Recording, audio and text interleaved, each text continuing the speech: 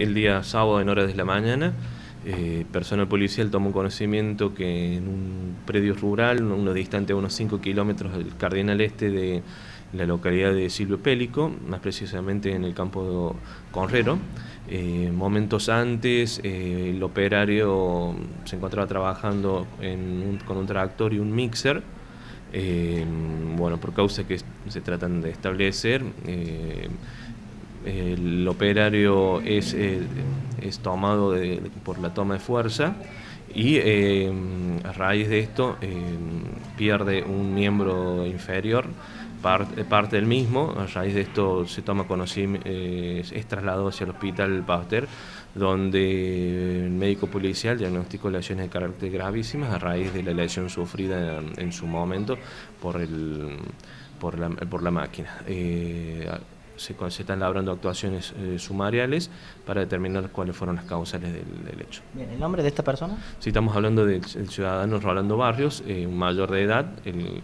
cual se encuentra eh, internado en el Hospital Pasteur en este momento. ¿Permanece internado con, con esta lesión? Exactamente, sí. Se continúa internado, bueno, esperando la evolución del mismo.